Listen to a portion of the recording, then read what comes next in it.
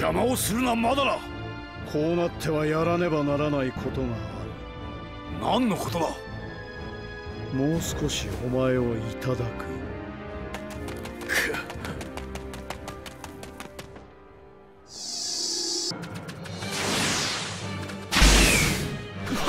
扉間を少し褒めてやりたい気がどういうことだ？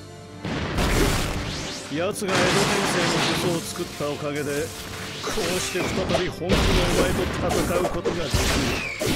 本来ならばもう叶わなかった戦いだ。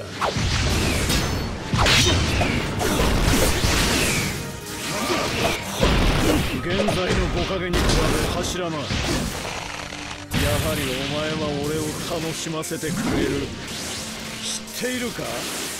今の世は俺たちの時代に比べかなり非力になっているぞ今の時代では求められているものは違う力が全てではない違うな結局物を言うのは力相変わらずお前の考えは甘い俺たちはすでに死んだ存在現在の世に干渉するのはやめろ俺が死んだ存在？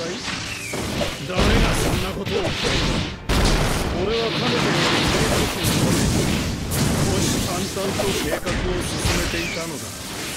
今この場は俺のためにある俺が世の中心だ決して死んだ存在ではないやはりお前との戦いは的確だ先方木遁神数戦術頂上化物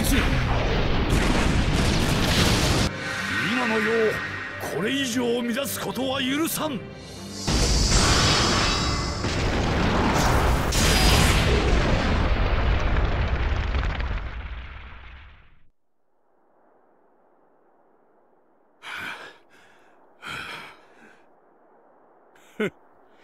やはりこうでないとな。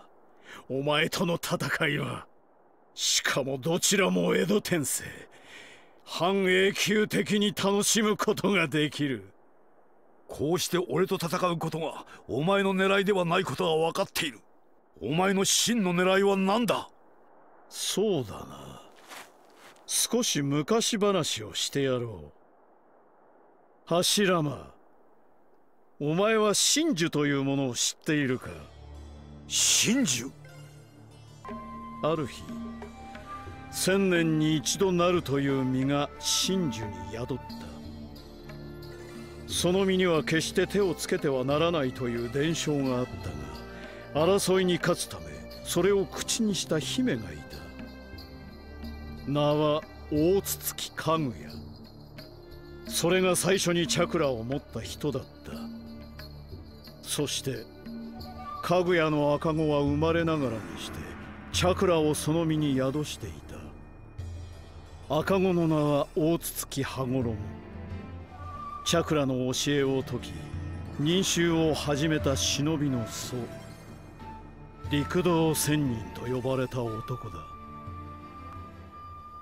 争いを止めるために禁断の身に手をつけた人がその後どうなってしまったか説明がいるか？その身に人が手をつけた時より人は呪われより憎しみ合うことを決定づけられたのだ。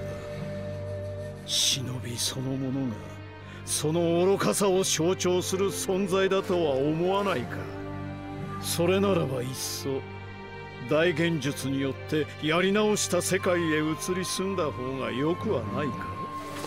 それがそれがお前の言っていた先の夢だったのか。ああ。だがほんの少し違う。どういうことだ？全てをここで話すのは野暮というものだ。ここで言えることは一つそれをなすのはオビトで。も他の何者でもない。この俺だ。なぜだ？なぜそうなってしまったのだ？お前は？